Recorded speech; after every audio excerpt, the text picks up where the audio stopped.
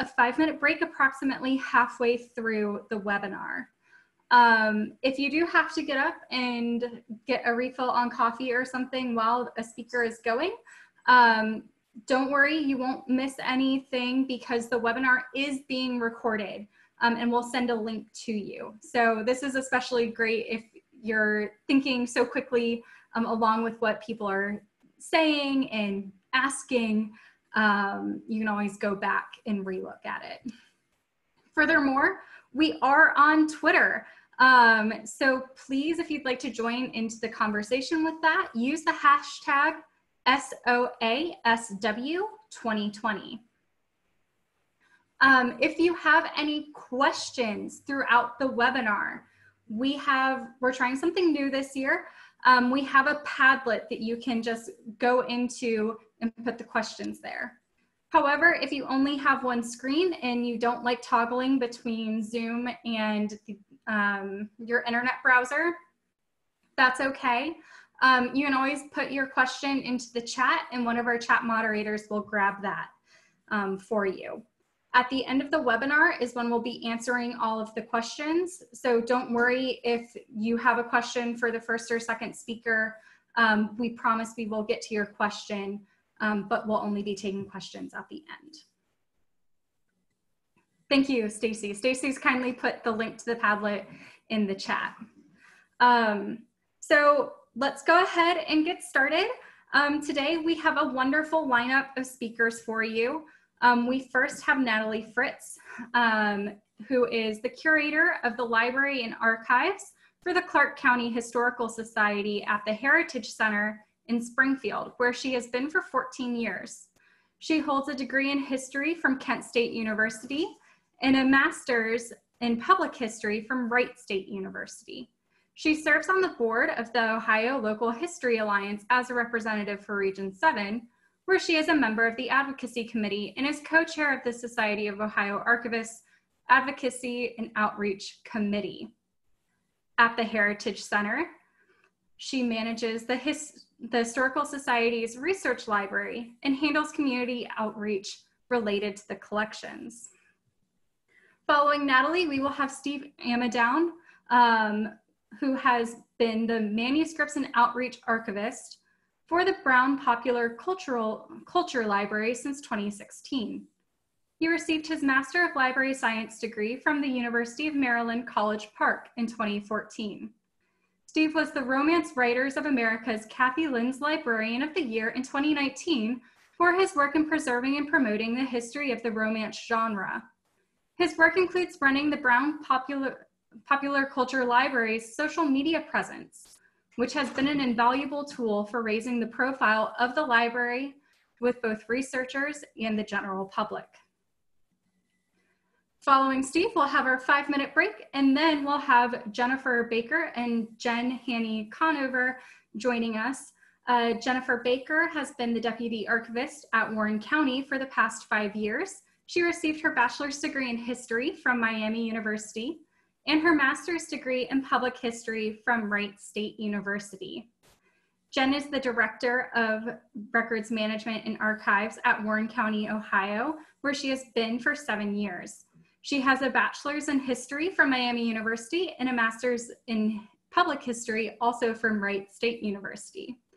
Um, and kind of wrapping it up, for us is Miriam Intrator, who has been the Special Collections Librarian for Rare Books at Ohio University's Mahn Center for Archives and Special Collections for over six years. She is also liaison librarian to the university's honors program and dedicates much of her time during the academic year to instruction and outreach. So we're really excited. Um, without further ado, Natalie.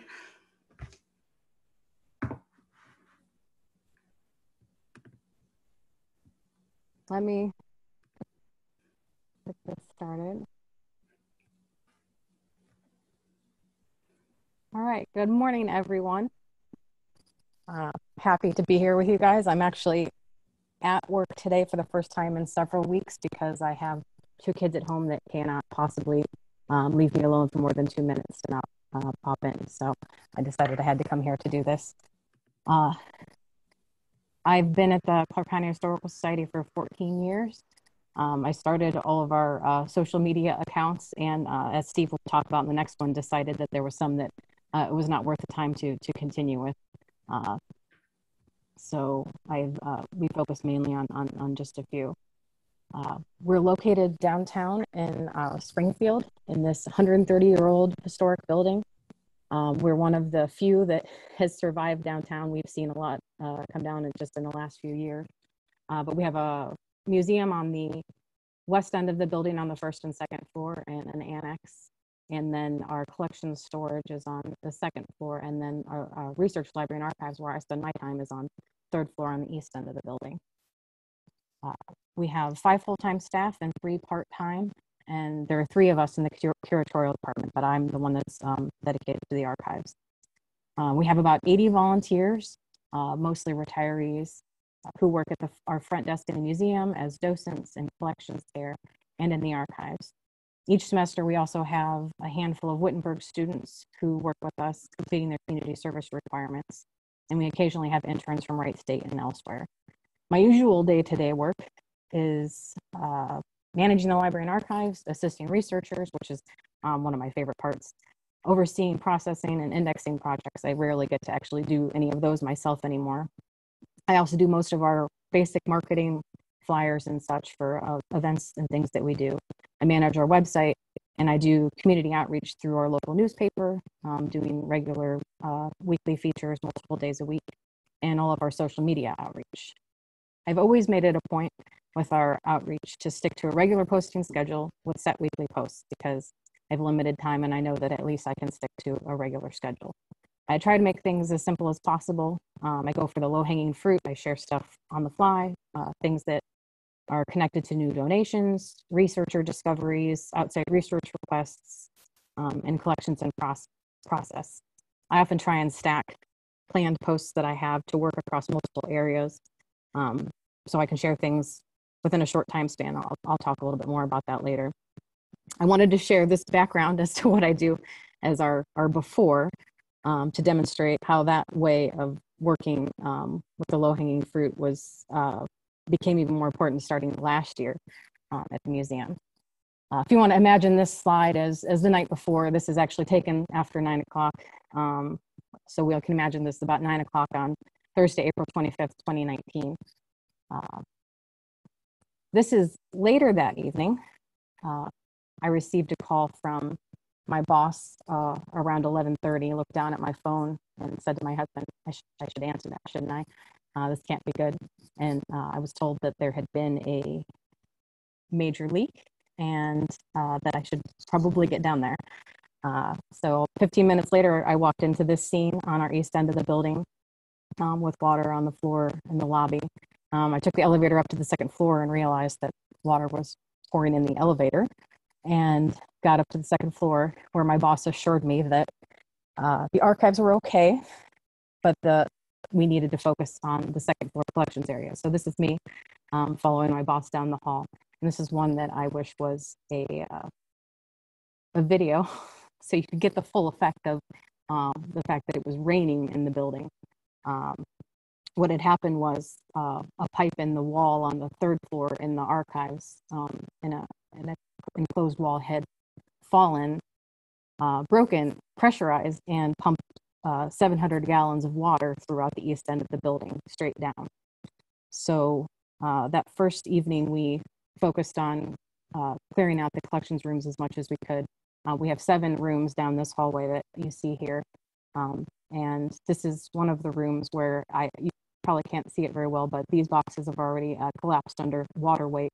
Um, so we spent that time pulling out as many tables as we could and using our, our we have a big um, open room where we use for programming that's beyond the, the collections area um, that we started setting stuff up in there. Uh, so uh, this up here, you can see this is a few days later, um, all of our damaged boxes where we have removed everything and laid stuff out to dry, marked them, and uh, made lists of what boxes needed to be replaced in the middle here is me in a mask before it was cool. Um, those first few days, uh, the ceilings were in danger of caving in in a couple of the rooms, and, and we weren't sure what exactly was was in the air, so we, we had masks. uh, to protect ourselves then. Um,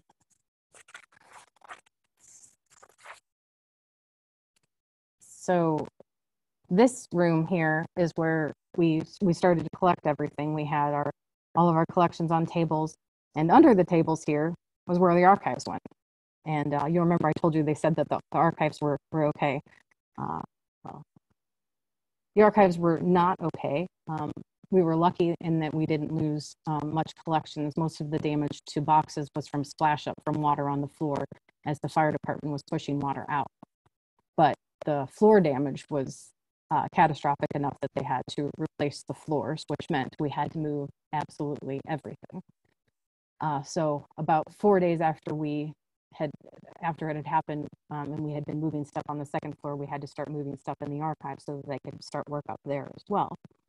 Um, there was some stuff we realized right away we couldn't keep on site, so we moved our probate records um, to off-site storage, which was about 500 boxes.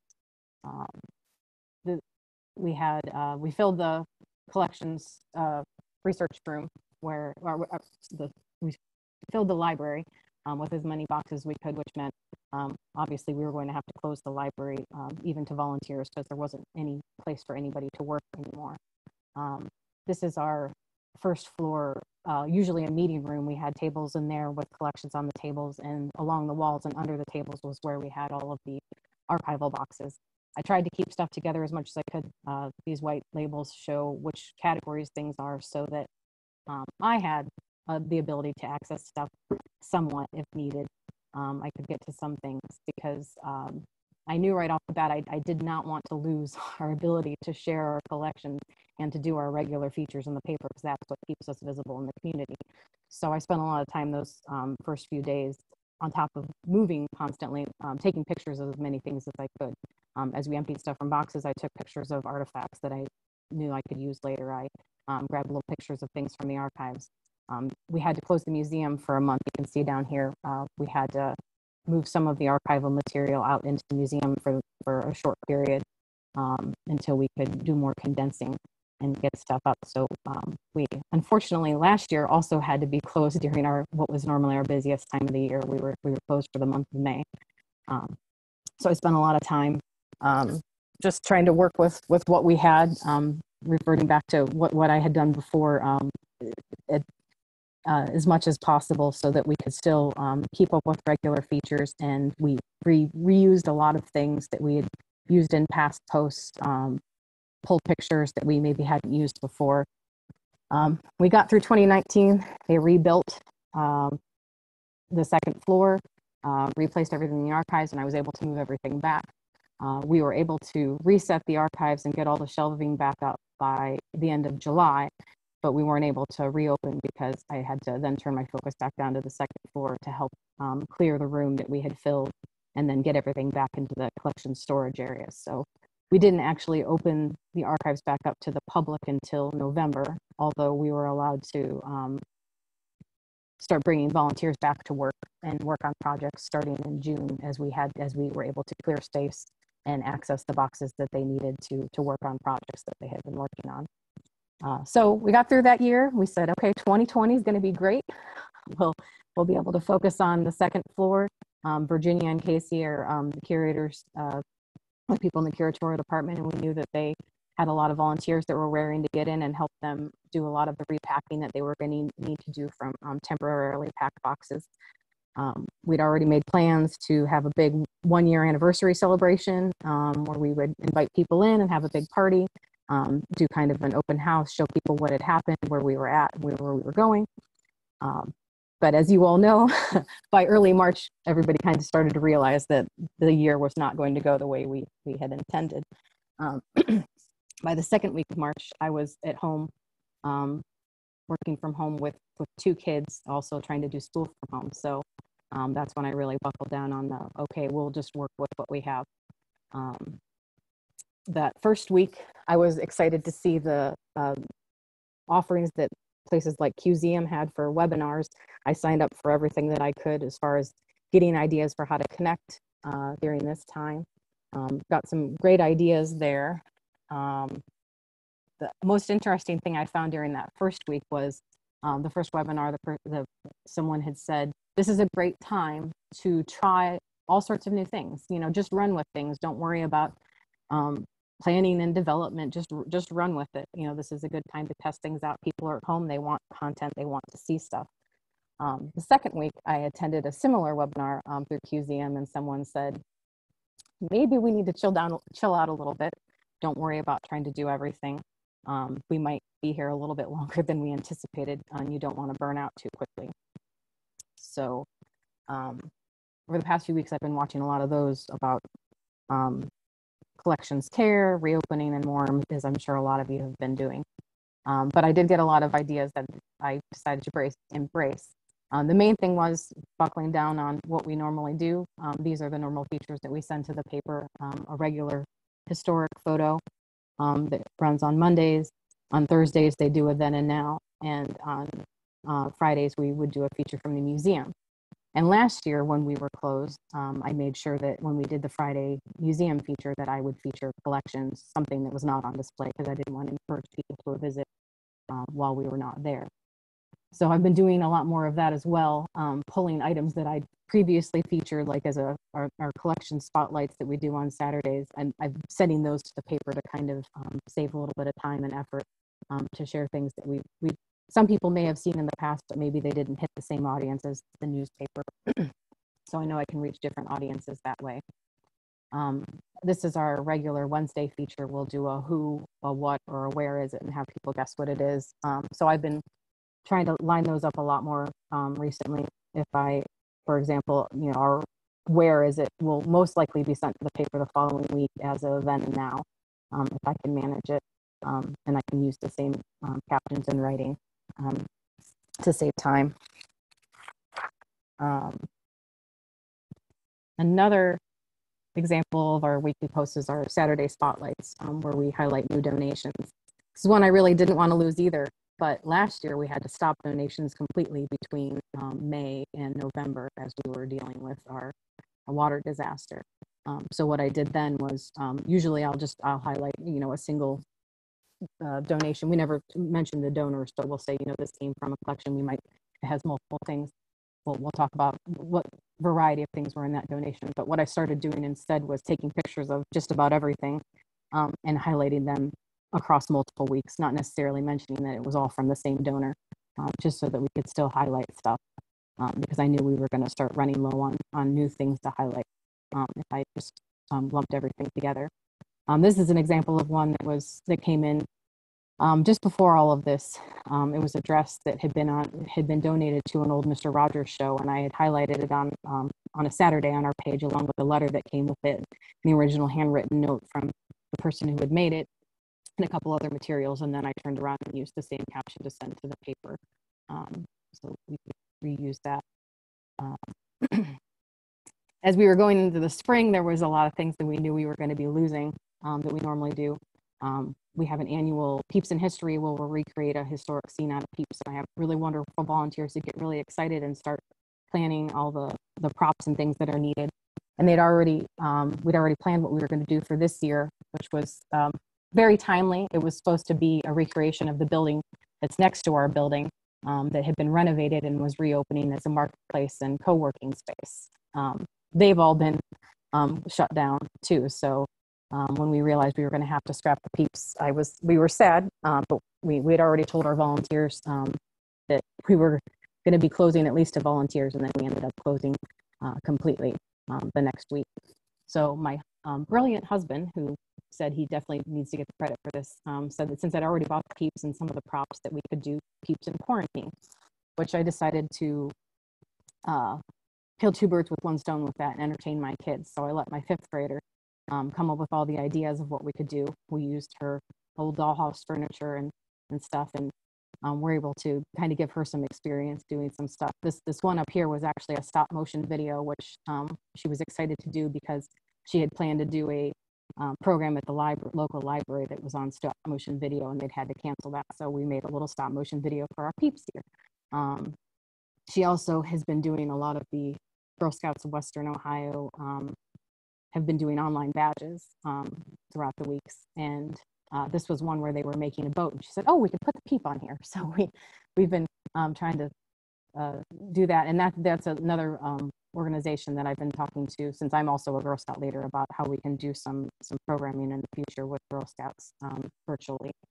Um, other things we just started kind of throwing the peeps into anything we were doing at home. There, you know, we've got zooming. We were doing lots of puzzles, so we've got peeps doing puzzles. And then my daughter sent me this little George Peepington here. This was all her. she, she she was very sad when I told her at Easter that we were going to need to stop doing those. But this was the um, the one time that we kind of uh, brought back our Instagram page. That was one that I had decided um, it wasn't worth the effort. It, most of our audience is on Facebook and the interaction is there. Um, but I, I shared all of our peeps and a few other things to Instagram at this time. Um, another thing that I was able to revamp was we, we normally do a uh, spring March Madness. And since the real March Madness was canceled and our program that we were going to base this around, um, our March this year was going to be based on um, characters at our annual Night at the Museum program where we had historic figures. Um, and we were going to, you know, have people pick who they would most like to meet. Um, so we we already knew that we were probably going to have to scrap the the program. And then when we did, I said, okay, I guess we'll scrap the, the History Madness. Um, and that week between when the schools closed and uh, when they told everybody, you know, I have to stay home, um, we decided, I decided to go ahead and um, pull all of the captions and photos that I had been sending to the paper all the years about the museum and do a March Madness about the museum. Um, it was wasn't very much work. It was just a couple hours to throw together in a you know um, editing program um, online just to to toss the pictures in and the captions, and then we had a way that we could allow people into the museum virtually and, and let them choose some of their favorites. And we had a lot of our our regular followers that interact with us a lot. We're excited to see that. Um, and I'm really glad that I did this because yesterday I got a call from Wittenberg University who's moving forward with their summer internship program. And normally they would come visit the museum and um, the library and archives and tour with us. But since we're still closed and they won't be able to do that, they asked if we could do something virtually. And I said, I have all of these slides that I've already made, so we can, I can um, put that together for them and provide it. So um, I was glad that I had put a little bit of work in to, to do those. Uh, another thing that I'd seen a lot on those webinars was people talking about uh, puzzles that they were offering to people at home. So uh, I thought that seemed like a, a, fairly easy thing that we could do. Um, I just did a Google search for the something that was free and easy. Um, chose imapuzzle.com and uh, was able to upload some of our photos to offer um, puzzles to people a couple of days a week. And they've seemed to really like them. I've been tracking them through um, just shortened links to see how many clicks we get. And we get, um, we got up to 300 on, over, over 300 on one of them. It was very popular. We're getting about 100, 150 on, on each of the, the links. And uh, bonus here, I had my, my son work on the, uh, one of the puzzles and kept him busy for about 20 minutes and he only tried to throw the iPad one or two times when he got frustrated. So that was a, a good way to keep him busy. Uh, my boss had said that he um, wanted some slightly easier ones for his grandkids. So I released these um, same puzzles in nine and 12 piece so that younger kids could more easily do that. Um, and we had people that said they would definitely buy a real puzzle. So that's something that we'll look into in the future. I think we can make some um, pretty cool puzzles after, after all of this. Um, another thing I've relied a lot on is I use the Timehop app personally. Uh, and since I take so many pictures myself um, at work every day, uh, I started looking through Timehop to see if there was anything that I had taken pictures of in the past that I could reuse or use. Um, like this one popped up the other day. It was a had been a donation from a donor that she had wanted me to send her a picture after she gave it. Um, so I took a picture and, and sent it over to her. Well, I realized I never did anything with this picture. I didn't share it or send it to the paper. So I'm going to go back and pull it, and I've got the caption there, and I'll be able to easily use this one um, for the paper. Another one was I had chosen this gentleman to be, or who was it Wednesday, but um, was kind of upset with myself that I didn't have a picture of his case anywhere. Um, and I said, well, I don't think I could get into the museum to get a picture. And the next day it popped up on my Timehop that I'd forgotten I'd taken a picture five years ago when we replaced the lights in his case. Um, so I was able to more easily put together a profile and a um, information about him because his when I zoomed in on here, I could read all the text and had my information that I needed for him as well. Um, we've kind of dipped our toes into doing virtual programming. Um, we had our first one last week um, as a virtual slideshow where we um, just let the attendees talk. I was really nervous about that, but it went well. Um, we had at one point about 60 people on the call. Um, and we just did it through Zoom. Um, and I just put together a PowerPoint slideshow of pictures, uh, about 15 pictures from uh, around Springfield. And I let them talk. Um, gave us a lot of great information that we didn't already have. We recorded it. They cleared up some things, gave us some um, new information. People found each other on it. It was it was a lot. Of, it was really neat. Um, and my uh, boss has said, you know, he would really like us to continue uh, doing that in the future. So we decided to make it a biweekly thing. So next Wednesday, we're going to do a um, Clark County History Trivia Night. So I'll be putting together some PowerPoint slides, and um, these are both these are all by registration, so we have a, a little bit of control over over it. Um, so um, we sent that out yesterday, and I've already gotten about um, 20 registrations. So hopefully that will go well next week. Um, it's gotten us thinking about how we can adapt other programs um, virtually because we we honestly don't know how long this will be. Um, since most of our volunteers are retirees, we we're really hesitant to bring them back um, anytime soon. And we know that there's other things in the community that we might be able to do and adapt. Like uh, this is a class that I taught on genealogy that I could easily adapt for a virtual um, program that we did for the, the senior center who has since canceled all their classes. This is another class that we did for the uh, senior center uh, on preservation, um, Virginia, Casey and I. And we know that we could very easily adapt that and, and share with people um, through Zoom. So that's things that we've discussed. Um, haven't this is uh, something that I'm not sure yet how we will handle this, um, having big student groups in here doing projects, um, how we'll be able to do that moving forward. But um, as far as behind the scenes tours. Um, these two here show pictures of people that came in when things were good, when they could see how things were set up in, in our collections areas and in the archives. Um, I think maybe something that we could do now is show them where we are, what we're working back towards, and, and maybe open up some boxes and show people stuff, and we could do that virtually. Um, this was an oral history program that we did right after let this just last month in April. Um, someone from the city had contacted about adapting their programs their program that they were going to do live. Um, and if we could support it and be, um, because it was going to be about oral histories that were eventually going to come to us. So we, we did a program there of um, kids interviewing their elders. And I, of course, offered my daughter to be one of the interview interviewers for that.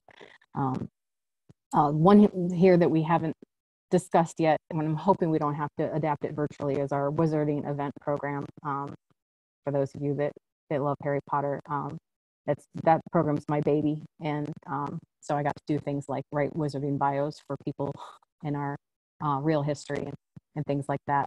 Um, it's been a very popular program the last two years. Um, it's supposed to be in october. We don't know where things will be then but you know we'll we'll see. Um, that's about all I have, but I did want to share a piece that I got from a webinar I was on yesterday for, for QZM. It was the best piece of advice that I'd heard was do not worry about what other people are doing, which is what kind of paralyzed me the first couple of weeks was thinking we're not doing enough. We should be doing more. And it made me really stressed out because, you know, I've got this furry coworker and I have two other um, smaller coworkers that um, like to burst into the room all the time and, and make it a little bit difficult to do work. Um, but they said, you know, everybody's coming from a different place. You may have different staff, you may have different resources, different funding. Um, just do the best that you can. And that's what we've been trying to do through this. And that's what i've always tried to do is with what we share and what we do.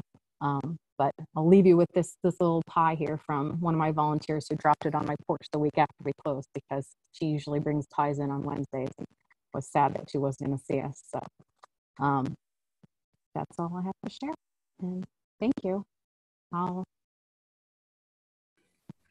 Thank you, Natalie, for such a wonderful example of different things that we can do. But I really like your point of it's not necessarily what other people are doing. Like, do what you can, but don't worry about what anyone else is doing. Um, so, up next, we have Steve. Um, so, Steve, take it away. All right. Good morning, everybody. Hang on a second. Let me just get everything going here.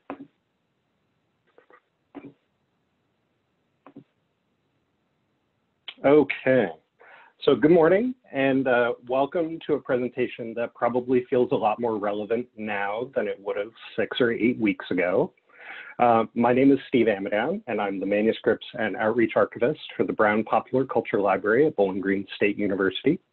Um, so as part of the outreach half of my job, um, I get to give talks to university and outside groups, uh, conduct tours of our amazing collections, and run our social media account. So obviously it's that last part that I'm going to talk about today. Um, I did want to quickly mention that I'm, I'm, I'm just thrilled to be here. It, it, you know, ALAO and SOA are doing uh, such amazing, amazing work in Ohio. Um, and it's great to be a part of that. And I want to especially thank the, the organizers uh, for inviting me and, and for doing all the hard work necessary to, to move this event online. Um, so this was originally going to be a much more interactive talk. Uh, social media is, after all, a group effort, um, but obviously that's not the case.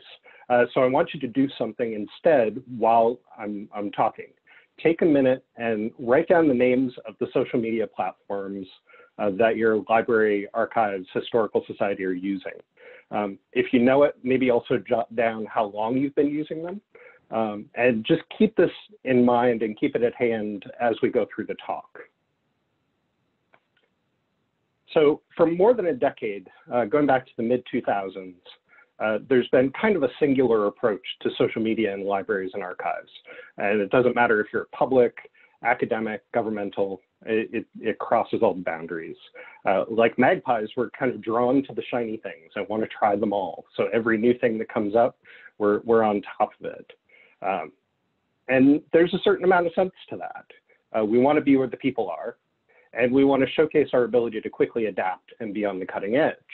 Um, and, and obviously our, in, our uh, professional publications and bloggers are out there sort of egging us on. So, you know, Animal Crossing and TikTok and Snapchat and of course Second Life um, are, have all gotten their moment in the sun uh, with uh, library use.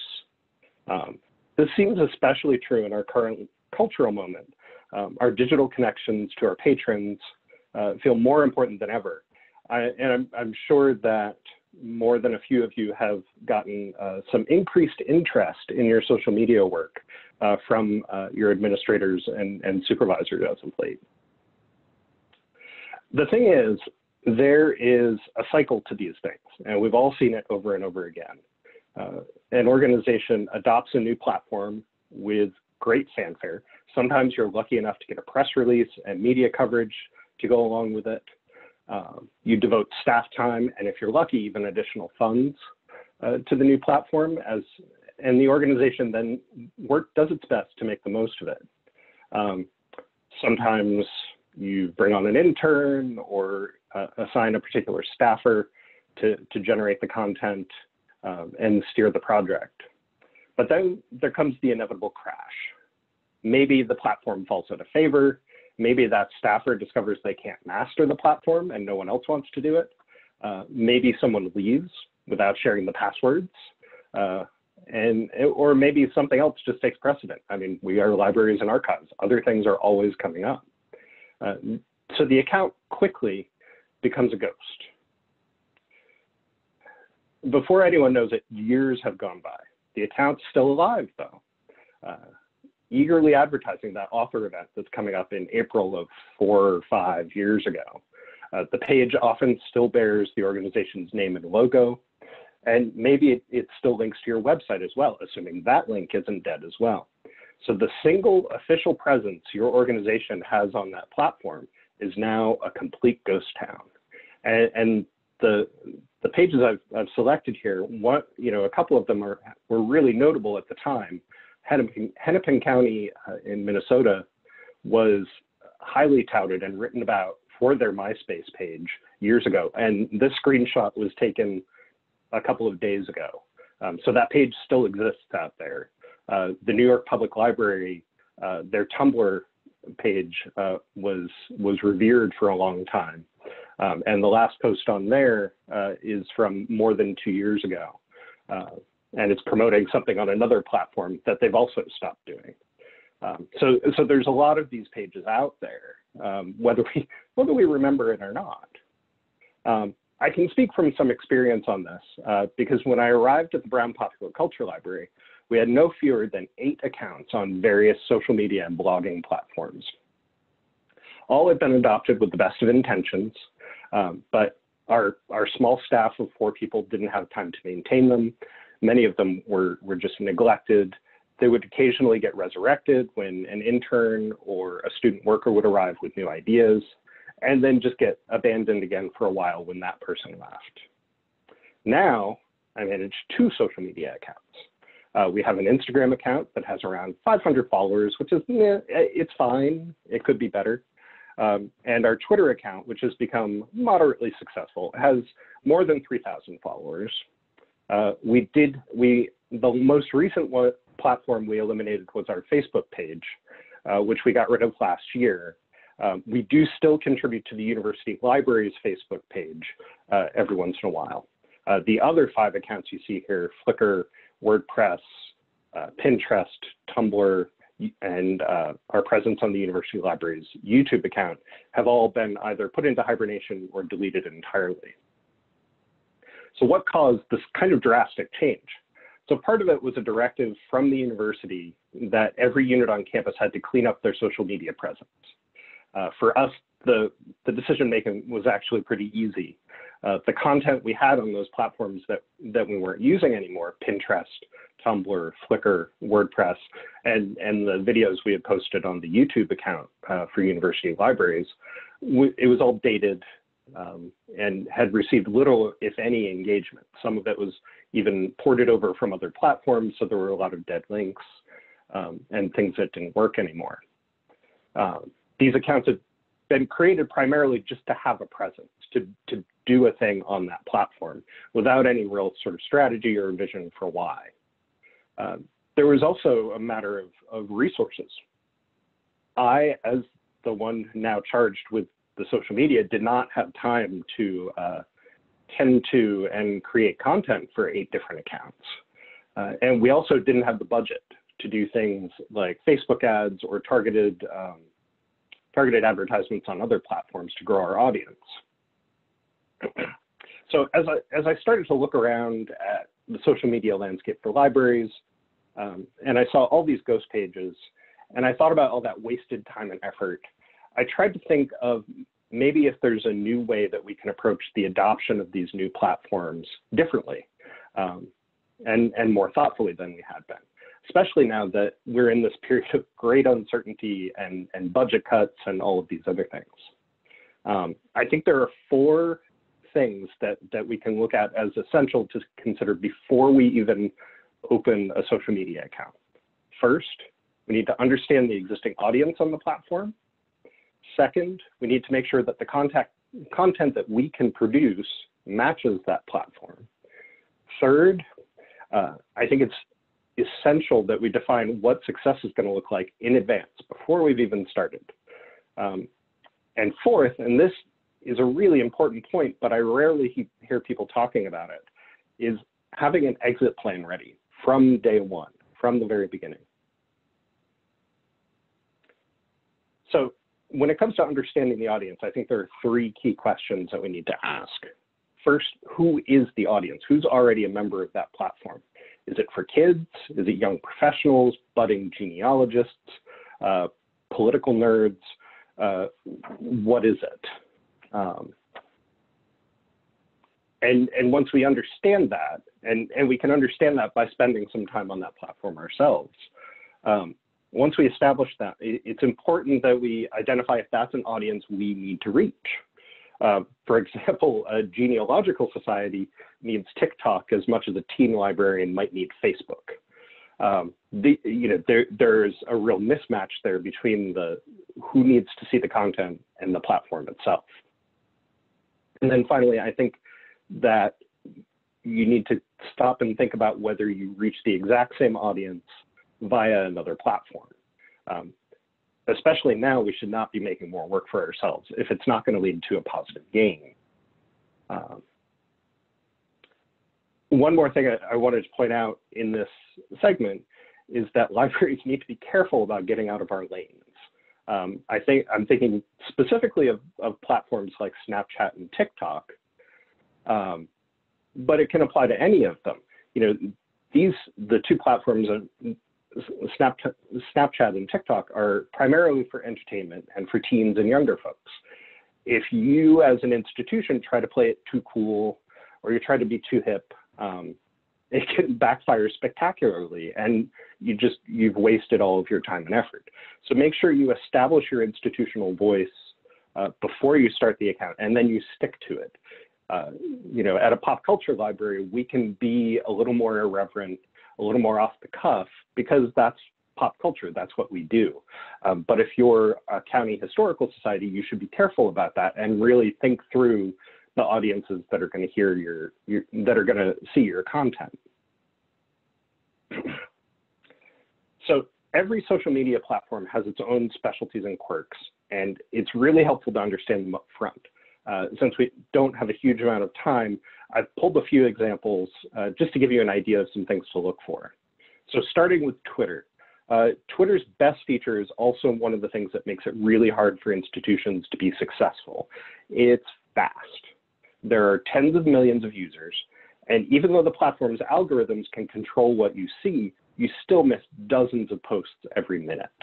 Um, it's a really terrific platform for posting topical and relevant content.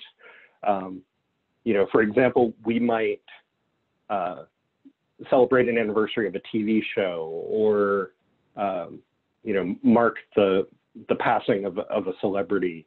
And, and we can do that instantly without having to sort of schedule things and, and have some faith that people are actually going to see our content because they're looking for that TV show or that celebrity. um, it's also, it's a platform built on community, which is really important. Being a passive user isn't enough. You have to engage with posts that are your own, and you have to become part of the larger, larger conversation. Otherwise, people will just see you as a spammer or just not worth following. If you're just cross-posting your Facebook posts to Twitter, you're, you're just working against yourself in the end.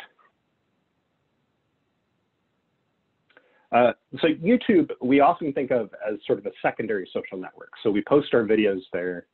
We uh, can take advantage of things like auto captioning, which for us public institutions is really important um, that, so that we're compliant and accessible. Um, and then we can link to them from blogs or social media posts elsewhere. Um, but it's also a place where you can build your own audience. So YouTube is filled with um, interesting things. People are often looking for, they call it satisfying content. Um, so there's behind the scenes videos, there's how-to videos, um, and, and spotlights on certain topics that, that people really get into. And right now, a lot of parents are using content from YouTube to augment their kids' lessons.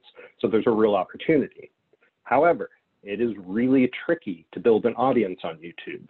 The platform's algorithm rewards constant updates and long videos, so over 15 minutes, um, as well as metrics like how many people subscribe to the channel and how many people like individual videos. So if you're not adding to it all the time, you're not going to build an audience there but you can certainly still use that content on other platforms. Um, so Instagram is almost an entirely visual platform. So it's got to focus on videos and, and photos. Uh, it's a good way, especially for archives and special collections, uh, to share unique and visually interesting materials. Um, and followers are, are as important here as they are elsewhere, but the use of hashtags can also allow your post to be seen by a much broader audience. Unfortunately, again, for special collections and archives, uh, links aren't allowed in posts until you reach a certain size, uh, a certain number of followers as an account.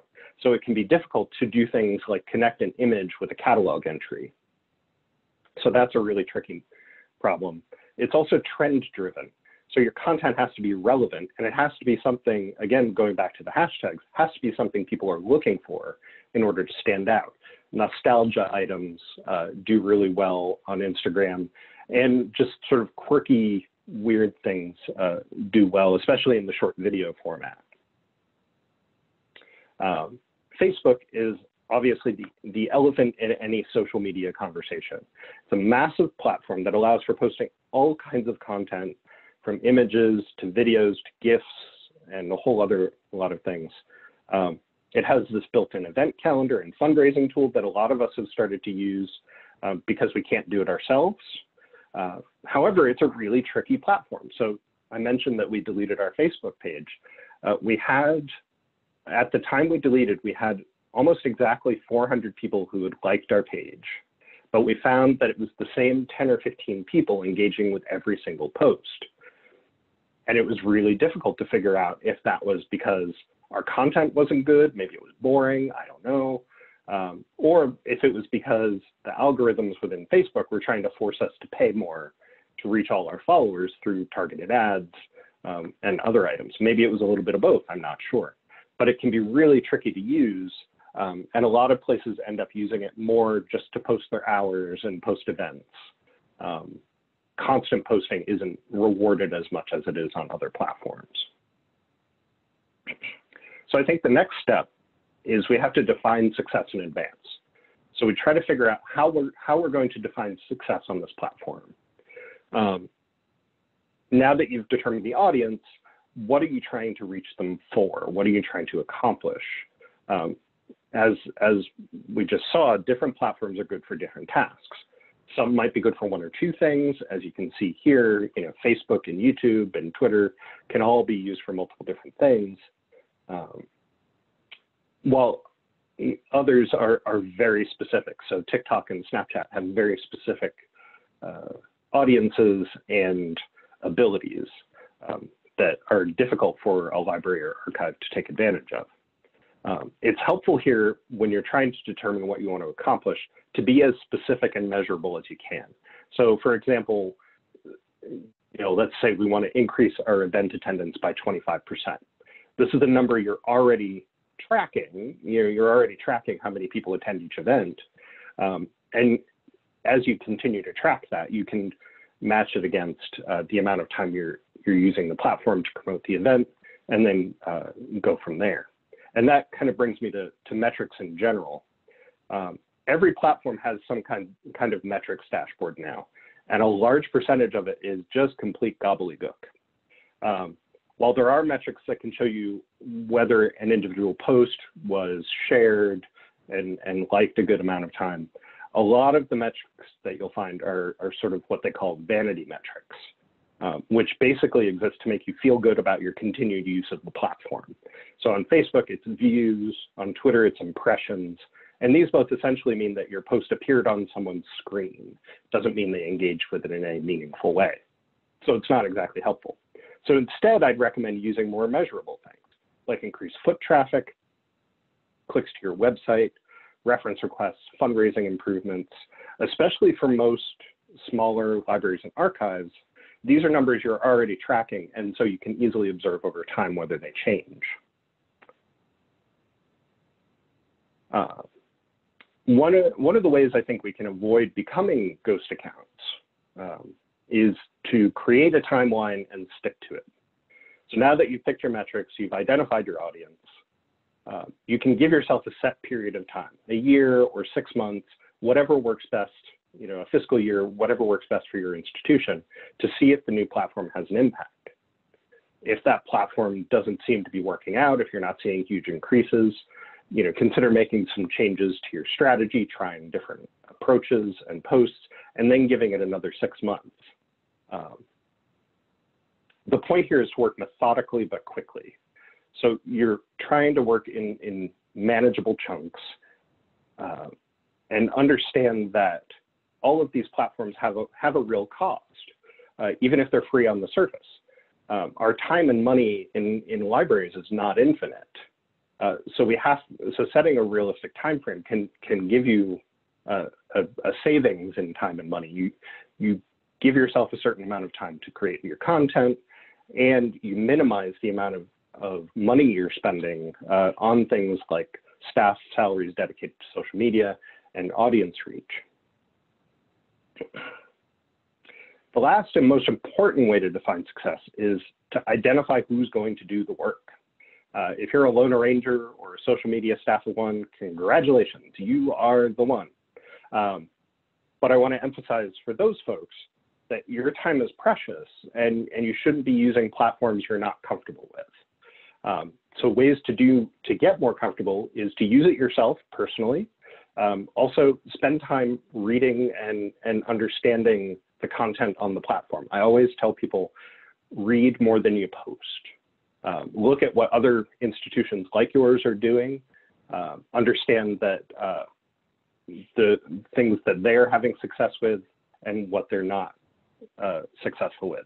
If you're lucky enough to have a social media capable staff, you can start by talking with those who might already use the platform. Um, their understanding of the community and especially the tone and voice of the platform can be a secret to success. But be aware that, uh, oops, sorry, uh, be aware that those folks may not have the time, the extra time within their already busy schedule to do this work, or their approach to the platform may be very different from that institutional voice that we talked about earlier. Um, so you, you, just need to keep that in mind as you go. Um, so the, the final thing, and, and the most important part of this whole process, I think, is planning for the day when it's time to turn off the account. This might seem kind of defeatist, but it'll save you from lots of headaches in the end. Uh, first, you need to identify who determines when you're done. So if you and your board of trustees sit down at that six month mark, um, or your boss sit down at that six month mark to look at your, your existing time frame uh, that you've given yourself for success, that's a good natural decision point. Um, and, and you can kind of identify who the important uh, folks are to have in that room. Um, in addition to your metrics uh, that we, we've already discussed, uh, consider whether the staff tasked with running the account still enjoys doing it. Um, the level of enthusiasm of the people posting content can show on the platform, and it can really, it, it should really be uh, a major consideration as you're deciding whether you want to continue. And you should also talk with your stakeholders. So if you delete your platform tomorrow, will your stakeholders actually care? Uh, this is what we found with our Facebook account, that most of those who engaged with us there were following us elsewhere as well. So they didn't really notice uh, or, or have any strong feelings about whether our Facebook page went around or went away. So once you've decided it's time, um, you need to identify your approach. So there are two options that I think are, are worth looking at. The first is to stop posting but retain the page. Um, this is especially useful if you have a lot of followers, but you've just reached a point where you can't support the page anymore. Um, so you, you give your followers warning, say, you know, after this date, we're not going to update this page. And then your last post should be a static post indicating that the page isn't being updated and give other people give people other ways to connect. Um, a few things behind the scenes that are really important in this case um, are to make sure that the username and password information is kept and updated as necessary um, because the account uh, can still be hacked. Um, uh, dormant accounts, especially on, on platforms like Twitter, uh, are, are, are, frequent targets of, of hackers and spam bots. And you also will want to make sure that you have uh, two-factor authentication enabled. You should have that already, but this is especially a, a good time uh, to enact that. Um, and then you also want to go back every once in a while to make sure that nothing's gone wrong, make sure that people aren't spamming your account in some way. Um, so it's sort of uh, is it, it's free like a puppy. Think of it that way. Um, you know, it's a solution, but it's it's one where you have to you have to keep managing it. The other option is to delete your page entirely. Uh, in this case, you again want to give ample warning to your followers. Uh, with our Facebook page, we did two weeks and we found that worked really well. Um, again, with posts that include the information about where else they can find you. Um, you'll also want to research the platform's deletion process. Um, all of them are a little bit different and they all want to retain you as a user. I'll talk about this in a second. Um, talk more about that in a second. Uh, where it's possible, you'll want to download all of the data you can from the platform. Um, this is uh, this is doable on on platforms like Twitter and Facebook. Um, and there are uh, videos and, and web pages online you can use to, to do that. Um, this will give you a record of the posts and media uh, that appeared on there, just in case you need to refer back to them for some reason, or you want to reuse that content elsewhere. uh, then you want to pull the plug, and it's it's time to uh, delete the delete the platform, um, go through the process, uh, and then again, you need to make sure that you're going back occasionally to make to check for uh, possible impersonators, squatters, people that uh, may trying to pretend they are you on that platform. Um, I mentioned the shutdown processes. I wanted to share my experience with, with three of the ones that we've done, uh, Facebook, Tumblr, and Pinterest, because they're, they're good uh, indicators of, of how uh, finicky these processes can be. Um, Facebook pages can only be deleted by the page owner, which is a good reason to keep very good records of what email account the Facebook account is tied to, uh, because if you lose that, you're going to have some issues. Um, you can download all the data from your page. It takes a while, and it's usually a pretty big file. Um, once you go through the deletion process, your page switches to unpublished mode for two weeks, which means it's not visible, but it still exists. Um, it's worthwhile going back after two weeks to uh, make sure that the page actually does uh, go away. Um, Tumblr is more of a slash and burn approach. You can't download your data, and assuming you only have one uh, page active on Tumblr, the only way to remove that page from view is to delete the entire account. So be ready for that uh, when you go through the process.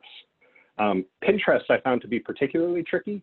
You can delete the page, but as soon as you log back into Pinterest, it automatically resurrects the page. And when they send you that email confirming that you deleted it, the biggest link there is to log back in.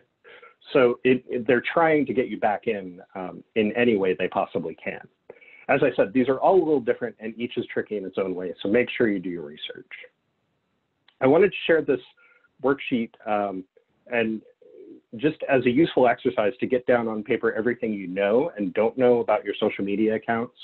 So the platform name, how long you used it, who the audience is, and what you use it for. I think doing this every once in a while, even if you're not just starting your account, is really helpful to, to really think about um, what you're doing in terms of social media.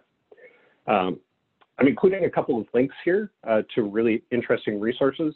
Uh, the first is by Adam Koszary uh, when he was at the Museum of English Rural Life. Uh, and it goes through the uh, planning and aftermath of a, a, very popular post that the MERL made um, back in 2018, and I recommend uh, following their accounts uh, to understand what they do that's a little bit different. Um, but it's really helpful in terms of understanding strategy and ways to go about things um, that maybe are a little bit different than you've engaged with before. And then the other one is uh, an article I found uh, recently on Public Libraries Online that goes into a lot of the, the stuff that I've already talked about here, but in a little more detail. So it's, it's worth looking at. I will say that uh, you should always be wary of articles about social media. Um, many of them are completely out of date by the time they're published. Um, if it doesn't have a byline of the year you are in, it's, it's worth um, taking it with a grain of salt. Um, so that's it for me. Um, I'm happy to talk to folks afterwards. Uh, feel free to email me uh, or find me on Twitter or Facebook, um, and I'm glad to chat. Uh, thanks again to the organizers for having me, and enjoy the rest of your day. Thank you, Steve. Um, I know that I certainly learned a lot from your talk. Um, with that being said, uh, we are approximately halfway through the webinar. We're going to take a quick five minute break, um, but we will resume at 11.14. Please continue to drop questions on the Padlet or in the chat. Um, and if you have any questions um, for someone who is hosting, uh, please let either me, Suzanne Reller, or Stephanie Brooking know.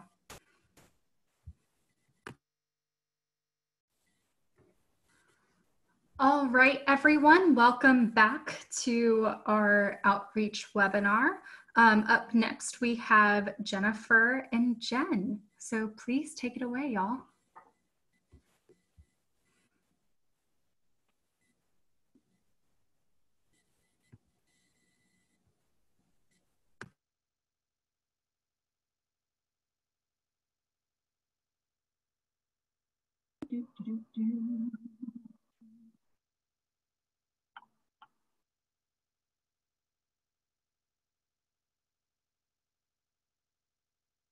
All right. Well, hello. Um, my name is Jen Haney. We'll also hear from Jenifer Baker. Uh, I am the Director of Records Management and Archives here at Warren County. And today we're going to talk a little bit about oral histories, uh, kind of a case study of what we did here at Warren County um, to uh, try to get our oral history program going. Um, and it, you see our title, um, Let's Try This Again, Revamping Oral History at Warren County. Uh, Jenifer will give you a lot more the title this uh, with our ups and downs of trying to get this program going. So uh, with uh, no further, um, a little bit of background about myself. Um, again, like I said, I'm the Director of Records Management here at Warren County. Uh, as I previously mentioned, I have been here for seven years. Uh, before working at Warren County, I worked at the AFRL History Office at uh, Wright-Patterson Air Force Base as a processing archivist. at the Greene County Room at the Greene County Library. And then I spent a couple years working at the University of Dayton in their circulation uh, department.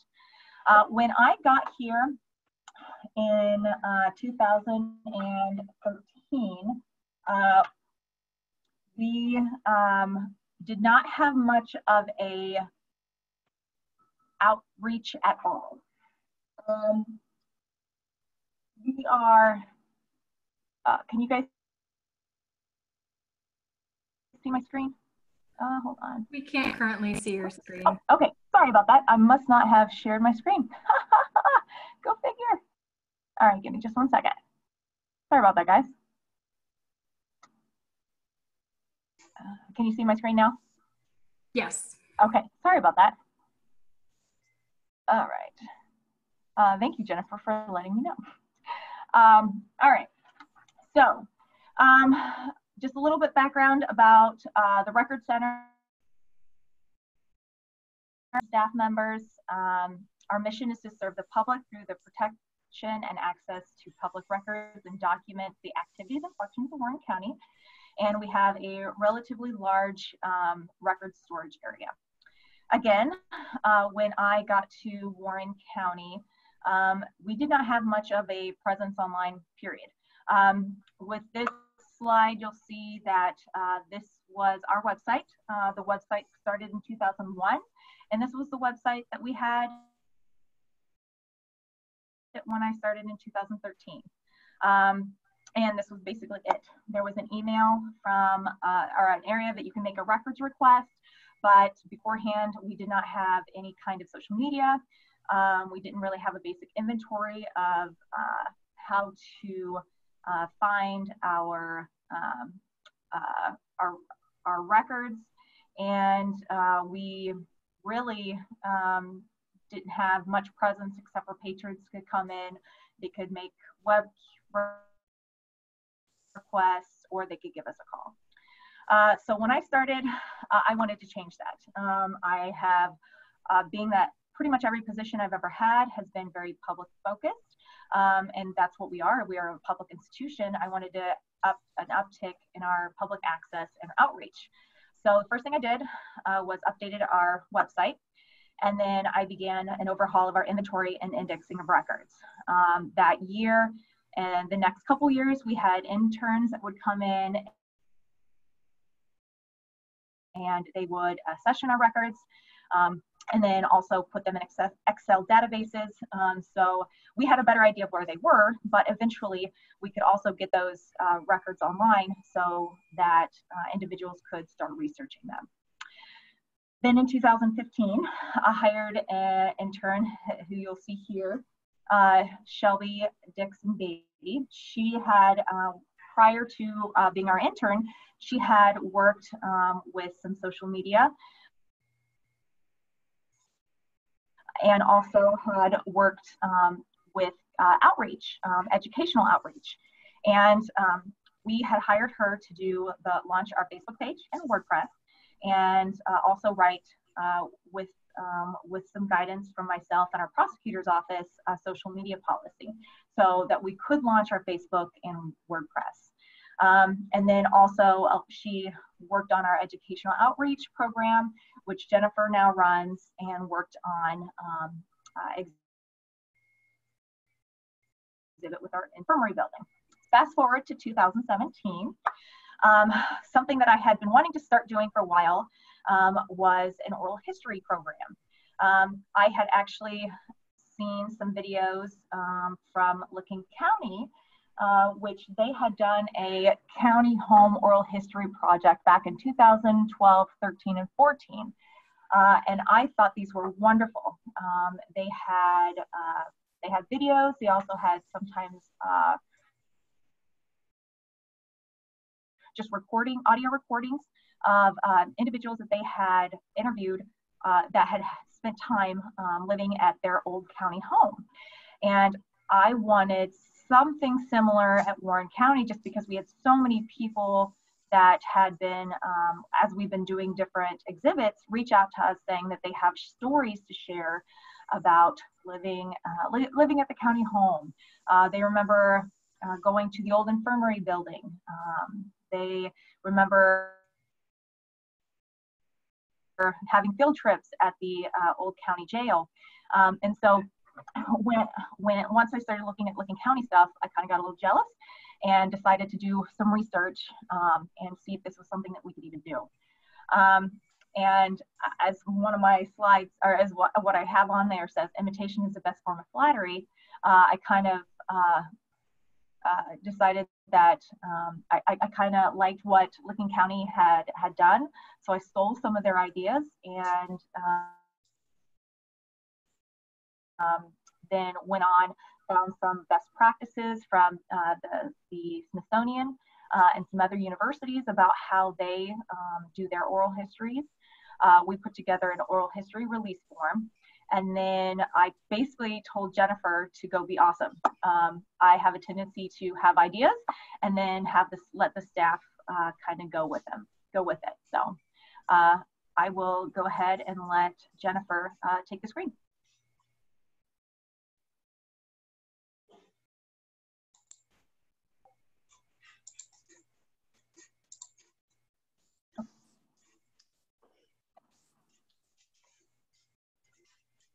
Okay. So, as Jen said, I am in charge of Warren County Record Center and Archives Outreach Program. Uh, and with most of our projects, uh, the way that it works is Jen comes up with brilliant ideas and then she tells me to go be awesome. So, these are some pictures of some of the projects we've worked on. Um, for our oral history program, Jen kind of went over some of the origin story of that. Um, for me, my understanding was that we were going to be interviewing, or the idea was to interview employees and retirees mostly. Um, you know, when I started in 2015, we were just getting started on all of our outreach. So even though the oral histories were mentioned, it was just not something that we prioritized at the time. We were getting our Facebook page and our blog up first so that we could really get our face and name out there. And then we followed that up with the education outreach program, which is something that I do primarily, which takes a lot of my time. So, um, you know, in the beginning of our outreach, it just was not a priority for us. So when we were researching our historic jail and sheriff's res- residence is when the opportunity really kind of presented itself to make this a priority for us to get done. So, um, you know, we got to work figuring out the logistics of creating an oral history. This is not something that I had any experience doing. We had went over it a little bit during my program at Wright State, but it is not something that they focus on either. So my training was very limited. Um, but luckily, if you go online, it is really easy to find a lot of free resources that will help you set up your program. So make sure, as Jen said, that you're not reinventing the wheel. So um, she mentioned the Smithsonian uh, that we use their resources. They have a folk life and oral history interviewing guideline.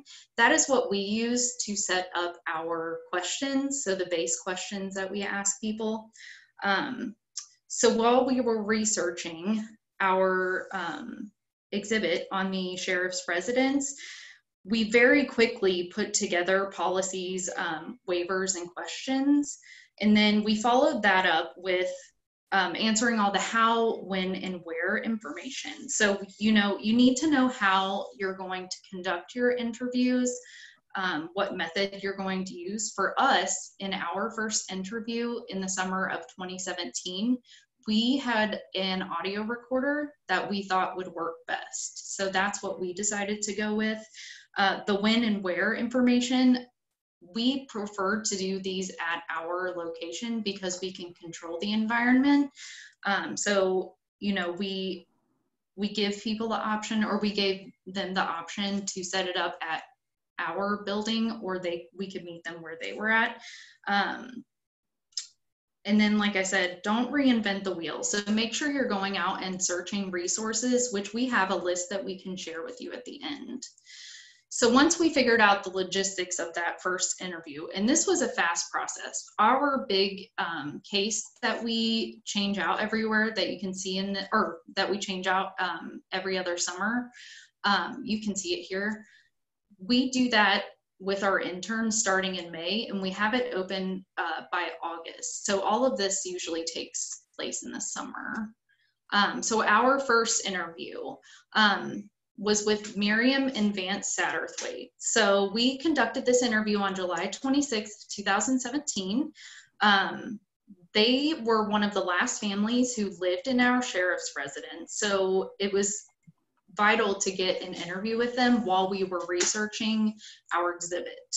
Um, so they their story tied into what we were already researching because Miriam was the wife of the current or the sheriff in the early 1960s, but she was also the jail matron. And then Vance Satterthwaite is their son. So he lived in the sheriff's residence as a child. So their story clearly tied into what we were trying to research already. Um, now, there was a sense of urgency while we were uh, preparing to interview them because Miriam is was in her early 90s, I believe, at the time.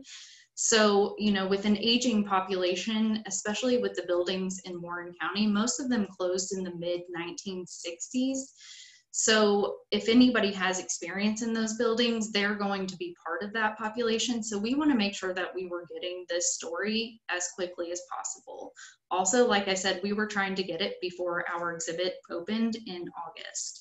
Uh, just talking to people, especially when you're doing multiple interviews, or I'm sorry, interviews with multiple people, there were multiple scheduling conflicts throughout the the process of getting this first interview set up.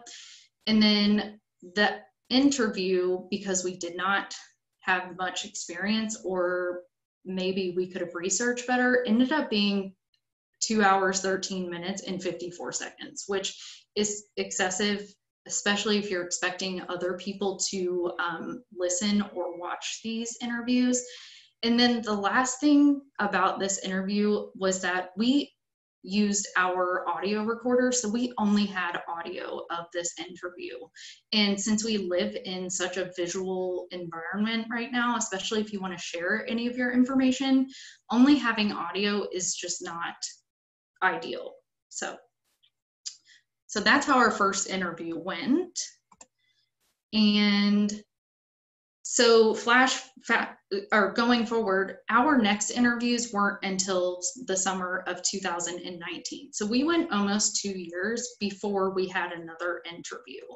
And i went back and reviewed some of the places where we got stuck in this process. So we got we had an idea got really excited implemented it and then we kind of just fell off the cliff and you know didn't conduct another interview for quite a while so, some of the ways that we got stuck and weren't able to move forward is that we made assumptions that the people in the community would want to participate. So, we put up a flyer, you know, calling the community to action, saying, hey, if you want to share your story, we were assuming that they were as excited about this program that they probably didn't even know about as we were. Uh, so, lack of follow up. We also did not post about the interview that we had conducted. So I'm not really sure how I thought we would get excitement generated. So make sure that you're posting about it.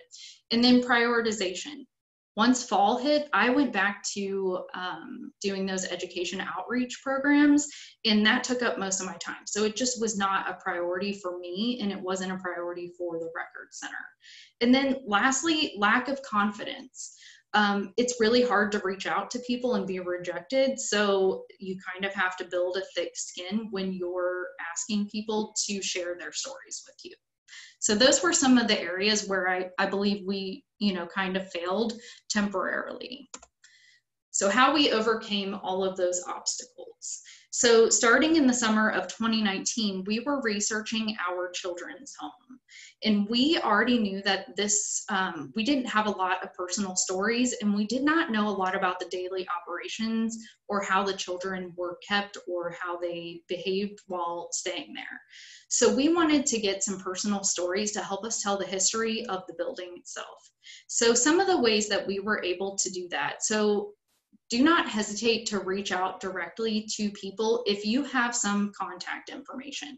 So if you have a phone number, an email, or even Facebook, don't hesitate to reach out to people. One of the things that I did was I went on to some of the other local Facebook pages that had posted about our children's home, and I actually just um, read through all the comments that were on that post because it's public if those people were confident enough to post about their experience at the children's home, I reached out directly to them. So I would send them direct messages, or if they had included their email address, I sent them emails directly, letting them know what we were doing, what the program was, what sort of information we were hoping to gain from this, and then a contact so that they could follow up. Also, we made sure to post about this regularly on our Facebook page. Um, as you can see here, this is an example of one of the posters that we created asking for people's stories because we wanted to make sure that they knew that their story is valuable.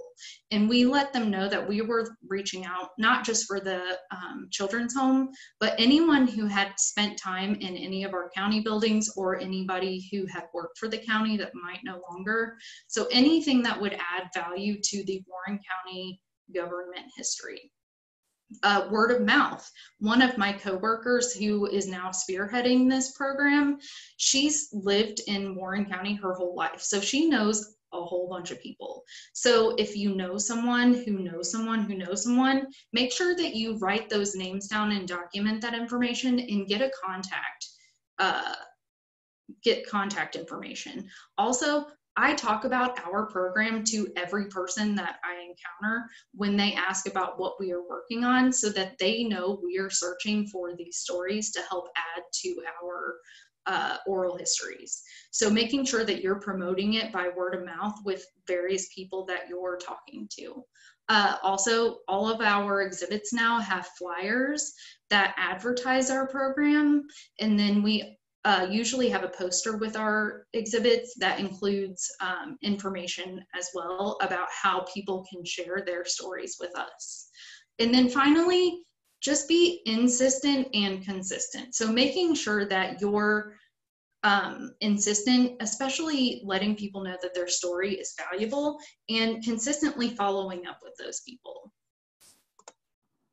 Okay, some lessons that we are learning, and I say this because I continue to make some of these mistakes as I'm interviewing people. So, first of all, I get very nervous. So, calming down, make sure you take a deep breath. It's very exciting to get someone to confirm that they're going to share their story with you, but you have to make sure that you're prepared to accept that story and do all the proper steps. So, for me, that's the biggest thing. Secondly, take pictures. The first interview that we did, I didn't even share it on our Facebook page because it was such long audio and I didn't have a picture of that experience to accompany it. So make sure you take pictures. And I put that because I continue to forget because I get so excited. So make sure you take pictures. Be flexible. You know, if you're trying to meet these people on their time, sometimes you do have to be flexible. And sometimes we've offered our time outside of work um, in order to make these interviews happen. Uh, research. So make sure you're researching the topic that you're wanting to interview someone about, but also researching that person if you can. So making sure you know stuff about them before you interview them. That way you can tailor the topics that you want to discuss. Uh, stay on topic. That's a big one because if you don't stay on top of uh, your interview, people will continue talking and maybe sometimes that information isn't valuable to the story you're trying to tell uh, prepare for deviations. As I said, people will continue to elaborate. Um, and then be sensitive. Like I said, the first person that we interviewed was in her mid 90s. So your questions need to be sensitive to the generation that you're talking to. So you want to make sure that you're sensitive to them.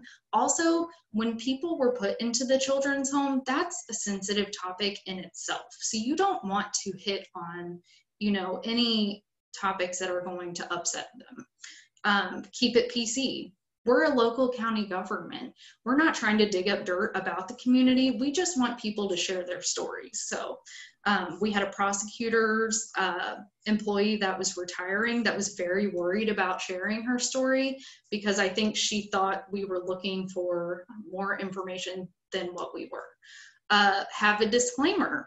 We had a local lawyer uh, that we interviewed about a really famous case in Warren County. Um, and he was a very colorful figure. So we wanted to make sure that if people were watching that, they knew that the opinions or the discussion wasn't necessarily reflective of what our uh, policies were. And then finally, follow up with people. You know, make sure that when you're trying to schedule your interviews, that you're following up with people so that they understand the value of what they have to say um, but then also following up after the interview. So they know how appreciative you are of their story. And they might be willing to um, to then reach out to other people that they think might be able to add to um, our oral history experience. And then this is an example of one of the posters that we created um, after we had done some oral histories on the children's home. So we made sure to share some quotes from those that help tell the story of the building. And then finally, um, because of all those things, we were able to successfully interview all of these wonderful individuals. Um, and I'm going to go ahead and give it back to Jen because I think I talked a little too long. So. all right. Um, so to follow up with uh, uh, Jenifer, um, and uh, I can um, share our YouTube page um, in the chat box so you guys can all check check check these out. Uh, one of the things once we had done started doing a lot of the interviews um, that I um, I will take responsibility for is um, we hadn't really done much with transcriptions. Obviously, at the end of the day, this is great to have this stuff online and available to the public, but people um, also, just because we want to be AD, want to read some of the stuff, even if they're a two hour long interview, um, people are interested in reading um, what they've talked about.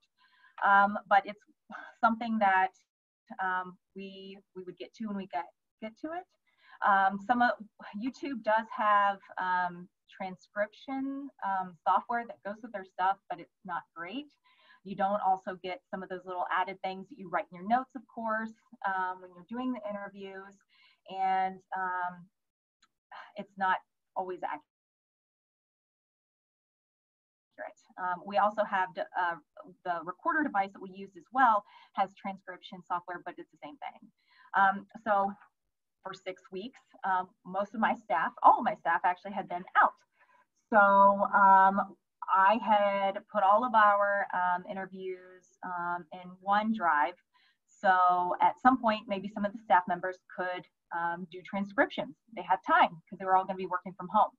Well, lo and behold, we realized that um, one of our staff members who doesn't do anything with outreach is actually a is awesome at uh, doing transcriptions. So that's what he's been doing. And this is a um, one of the um, interviews that we have, one of our favorite interviews that the girls did, um, Clyde Baston, um, and some of his transcription. Um, so when I had started doing this presentation, I had a whole different idea of what we were going to be doing towards, or what I was going to be talking about at the end, but then COVID happened. So I decided that maybe to take the approach of what happens now that we are in a post-COVID um, uh, time. Um, and something that I've been doing a little bit of research in um, is how do we how do we advance this moving forward? Um, you'll see that I have a couple different apps. Obviously, right now we're using Zoom. Um, there's other apps and other technologies we can you can utilize WebEx, GoToMeeting, uh, Google Duo, and Hangouts um, if you have access to that, and then also Microsoft uh, Teams. Um, all of these have capabilities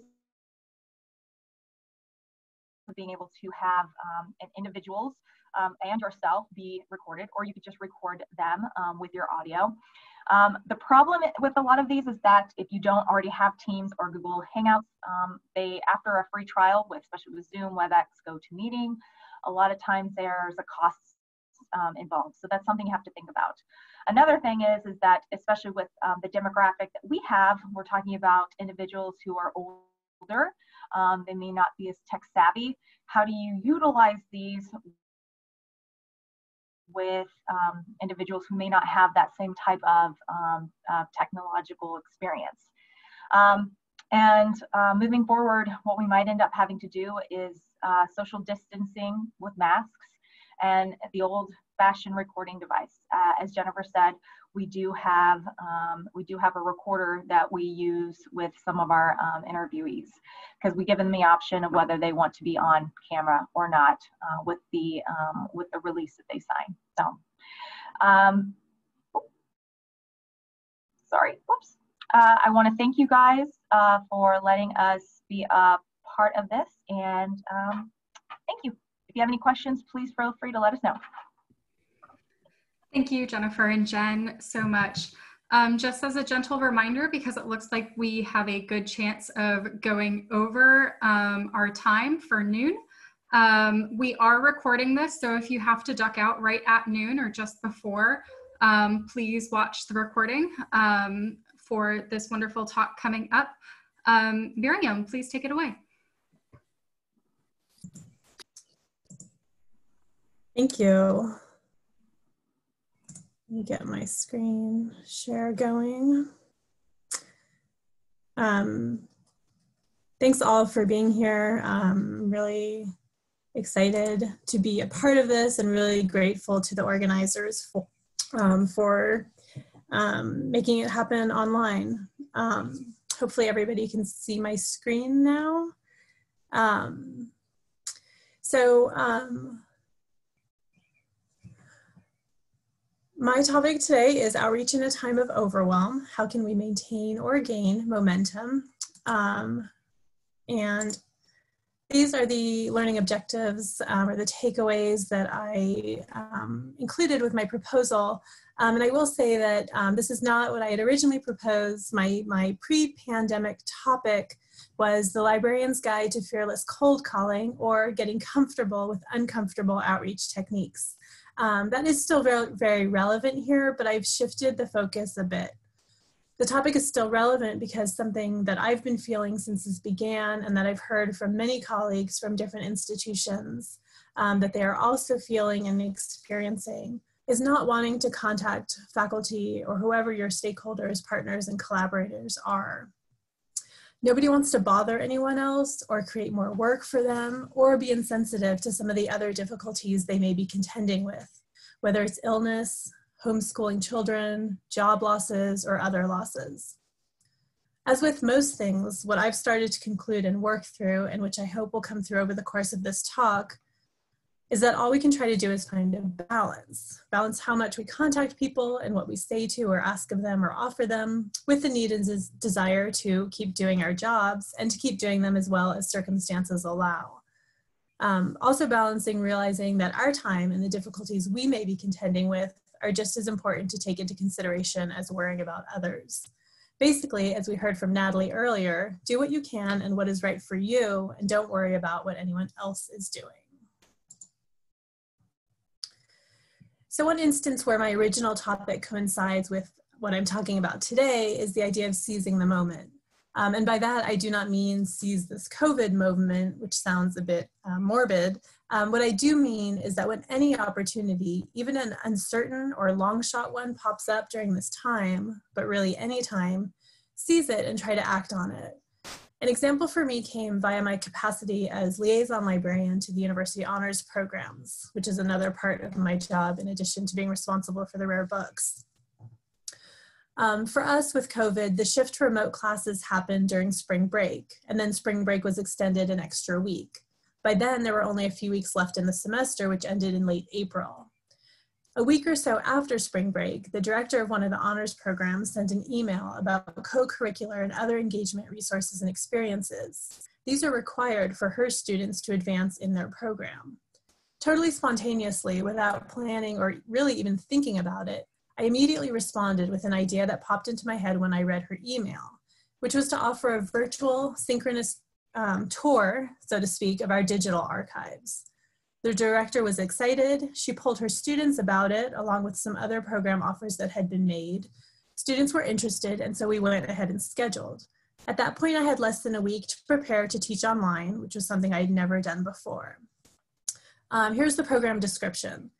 A one hour session that will combine discussion of primary sources with a virtual guide through our digital archives. Participants will learn to define and identify primary source materials and will gain comfort and familiarity with searching, viewing, and downloading our digitized content. There will be time for individual exploration and Q&A as well. When my boss found out about it, she asked if it could be more widely promoted. The honors director agreed, and so we did just that, circulating the notice and posting it on the on online events calendar. Library student workers and other student employees in need of work to fill their time from home were also invited. In the end, I had 12 participants, which given the circumstances and the very short timeline was a number I was pretty happy with. It did include a few library colleagues. With so little time to create and prepare the session, I didn't have a lot of time to think about assessment. But since I had never taught online before and was using new to me tools like Answer Garden, I still wanted to have at least a brief survey, survey for participants to complete at the end. Eight completed the survey. During an in-person class, I would normally keep a few minutes at the end of a session for a survey like this to ensure maximum participation. As I think we all know, if you send out a survey after, response rates tend to be extremely low. So how to replicate that online? For a class and with instructor's agreement, you could make completion of the survey a condition um, to demonstrate that students completed the session for attendance or participation points for the day. Since this was a more informal session with a mixed audience, I still left a few minutes at the end and I asked participants to complete the survey before logging off of the meeting. That way they didn't have to allot any additional time to complete it. I'm not going to spend a lot of time on the results since we're low on time um, and since you might not be able to see the charts very well through the share screen. Um, but briefly, they were very um, positive, um, and I just wanted to mention the questions that I did ask. Um, first, I asked if the session met, exceeded, or did not meet their expectations. Next, I included a series of statements to which they could respond, not at all, a little, neutral, some, or yes, absolutely. absolutely. These were, this session improved my understanding of the digital archives. This session improved my understanding of primary sources. After this session, I am more likely to use digital archives materials. The presentation was clear and informative. The instructor made space for questions and discussion and I would recommend this session to other students or classes. I tried to write questions that reflected the learning objectives and that evaluated both the content and my own performance. Finally, I asked three write-in questions, which many of you will be familiar with. What is one new thing you learned, one question you still have, and one thing that could have been done better? Um, one thing I was interested in is that I received very similar comments to what I received during an in-person session, um, where the main criticism or suggestion is almost always for more time with the materials. Um, so overall, I felt that the session was successful. Um, probably the comment I was most excited about was somebody writing, um, I learned that I shouldn't be worried about using archives because they are there to be used. Even though I was introducing the students to digital archives, I talked about um, the archives being open and available to anyone and anyone being able to come in and access and use materials. Um, so having somebody remember that and have that as their takeaway um, was really important to me. The session as a whole was mostly useful for me to get a better understanding of what was possible in terms of remote outreach and instruction for archives and special collections. And this got me thinking about what I could do moving forward. The main thing I realized is that I had done a synchronous session, and what is most useful to most people right now, including faculty and instructors, and including most of us, is content available for asynchronous sessions and short instructional tutorial style videos perhaps a series of them rather than a single long video. which Students can get lost, confused, or just lose the thread and interest. So that's where I began, that's where I was when I began really thinking about this summer and especially the fall. Um, I had an interactive slide here, which I took out because of time, but I hope that you'll all be thinking about a possible kind of seize the moment example, which has recently come up for you, or maybe one that you can create because you never know what it might turn into. My video tour is now part of another project that one of our assistant deans is sharing with various groups on campus. So taking a risk by responding to an email before I could talk myself out of it has led to something that is now taking on a bit of a life of its own. So now I'm focusing most of my time and attention on preparing for fall. And fall, um, for us at least, and perhaps for most of you, is still very up in the air, which has made planning difficult. At first, my strategy was to wait until we knew which of the three main scenarios would come to pass. So either we would reopen with classes on campus, but with restrictions, um, partial reopening with some classes and some students on campus, others online and still remote, or ongoing closure with all classes um, and students continuing remotely. But then when I started thinking about special collections and how we normally work, I realized that there was really no reason to wait probably this, these images um, are what a lot of your normal instruction sessions also look like. Groups of students and instructors and visitors closely clustered around an item or set of items, talking, touching, pointing, taking notes, passing things around, asking questions, and so on. And what I came to realize in conversation with my colleagues in our special collections is that even if some or all students are back on campus in the fall, we will not work this way with people close to one another and touching all the materials. We're not yet sure how we will work, but the safest, easiest way to proceed was to assume that most of my fall instruction will take place remotely, regardless of where students and classes physically are. This realization helped me break the paralysis I had been in of not reaching out to faculty because I couldn't imagine what to say to them or how we might start planning. Um, and I hope we have time for that. Everyone um, can quickly go to slido.com um, to, to take a very quick poll. You can use your laptop or your phone or any other device and just go to slido.com, type in the code. Um, our code is 87537. You can also use your phone to um, scan the QR code, which should take you right there. Um, if it isn't working, let me know, or I'll know because no responses. It's working. Okay. um, just take a minute to see if people know what their fall is going to look like since we do not yet know. Not yet determined is so far the winner. Yeah. Some of you have partial reopening.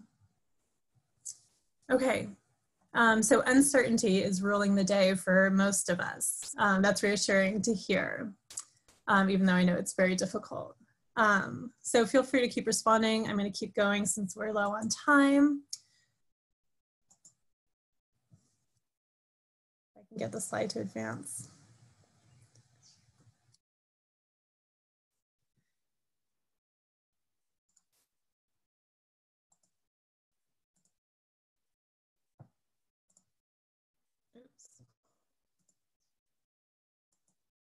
Okay. Um, so with this uncertainty, I was have been very overwhelmed and unsure of how to proceed um, in this new world. So I looked to my good friend and colleague, Hannah Schmellen, who is our librarian for health sciences and one of the most organized, efficient, and productive librarians I know. She keeps this sort of matrix on her desk and refers to it constantly. Some time ago, I had her share a copy with, with me because it's such a useful reference when you're trying to decide how to prioritize projects, and even before that, trying to decide which projects to accept um, and which to pass on or save for another time. Basically, it helps you weigh risk and reward by thinking about how much work a project will be and how much of an impact it will have. So something that is difficult and will likely have little impact, try to avoid doing it.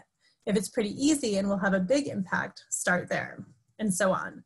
So it's pretty basic, but for me, it really helps to have it laid out like this. Um, and I decided to adapt her matrix um, for the current situation just to help me get started. Um, so this is what it looks like. Um, and this, being able to do this was the second thing, along with realizing that I should plan for remote instruction for fall, no matter what, um, instead of waiting around for formal pronouncements from the university. That really helped propel me forward um, and motivated me to figure out how I can still do my job, basically, without access to the physical materials, um, and how to make the goals within my job still relevant and meaningful, and to start conducting outreach again. Um, so basically, the place that I would start first is to match faculty and classes being offered in the fall um, that I've previously worked with. So where I already know the assignments, I kind of know what they're looking for and what they're doing, um, and see which ones of those I can match up with materials that we already have digitized. These are the people I'm contacting first, one at a time, individually, with course specific and material specific ideas, questions, and suggestions. Um, the next group of people that I'm contacting, um, but more selectively, are also faculty and classes I've worked with previously, but for whom we currently do not have any available digitized materials. Um, so then the conversation is, can we create a targeted digitization project this summer perhaps? Or are there primary sources in the library's existing databases that we could work with? Are there digitized materials available via other institutions that we could use? Um, there's increasing usage of other people's materials during this time and that's that's something that's really exciting. Um, or can I brainstorm with a faculty member any other ways of proceeding? What I'm doing very minimally um, is sending out general emails with links to resources to faculty that just sort of say, I'm here, please contact me if and when you need support. Um, I think that's too vague and with the overwhelm that I know I and so many other people are feeling, um, plus the flood of emails that everyone is getting, I think that kind of thing, at least in my experience, is getting a little bit lost and not getting a lot of responses to. And then what I'm not doing at all, and what I would normally be doing, is trying to identify faculty and classes um, that I've never worked with before.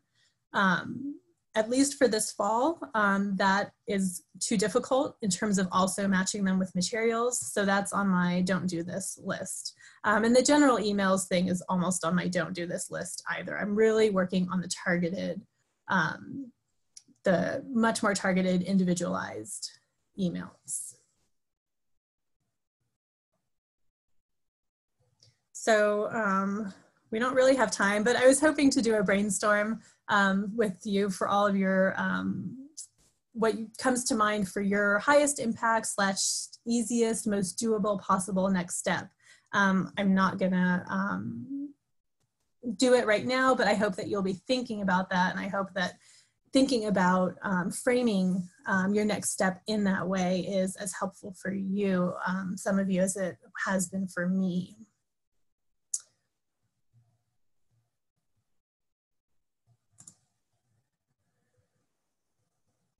So one thing that I think academic librarians are constantly asking ourselves, and I think this translate to, translates to any institution, and again, whoever your stakeholders and um, partners and collaborators are, um, what do they need from us and what do they want from us right now? Um, there's so much uncertainty that I feel like the question now is more fraught and more difficult to answer than ever. Um, but I finally sort of got beyond my um, desire to not bother anyone and realize that we will only know the answers if we ask. So if we reach out and they say, no, I can't think about doing this or collaborating right now, that tells us something. If we reach out and we get no response, that tells us something. They might also be thrilled that we asked. I've just started reaching out and everyone I've reached out to has said they didn't want to bother me. They don't want to make more work for me. They don't want to take up my time. These are exactly the same reasons that I was hesitant to reach out to them. So I tell them, this is my job and this is the part of my job that I most want to be doing. And that's where the conversations begin. Some faculty are also looking for something new, something fun, something to help them fill their remote class time, um, which is brand new to them as well, and not all their content is going to transfer. Some need help, some don't, some welcome fresh perspective, some don't. So really exactly the same as in normal circumstances, but these are anything but normal circumstances. Everything is heightened and more charged, so taking the first step, for me at least, felt a lot scarier than usual until I just started doing it. I have a long list of faculty still to contact, and I'm going to keep doing it one by one thoughtfully, only when I have a grain of a specific idea for what I might be able to offer them and their students in the remote environment. After all, how else will they know what is possible? So far for fall, um, and I just started, two faculty have reached out to me and I've reached out to two others. And I wanted to share their responses. Um, of course, not all responses will be so great and positive. Um, many I expect will not respond at all. But these first steps and having a clear plan and approach and having some positive response have given me the confidence and the path to keep moving forward.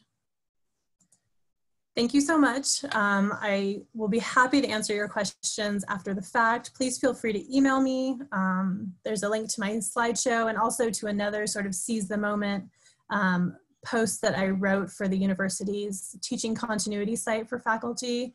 There was sort of a vague call put out and just like with the work, the tour, I just immediately said, hey, I could write about this thing. And then I figured it out after. Um, so thank you so much, everybody. Thank you so much, Miriam, for your fantastic presentation. I really feel like it's great to have an idea of how to move forward intentionally um, and start reaching out to faculty despite all of the uncertainty of this time. Um, and we are right at noon. Um, I would like to once again thank our fantastic speakers for today. Um, and hopefully everyone has different ideas of how they can move forward at their own institutions. Um, we will be answering questions as I have promised, but we'll be doing them in a slightly different way to be sensitive to the time of the participants. Um, so we will be sending out a Google Doc um, of all of the answers to your questions that you've stuck in the chat and also on the Padlet.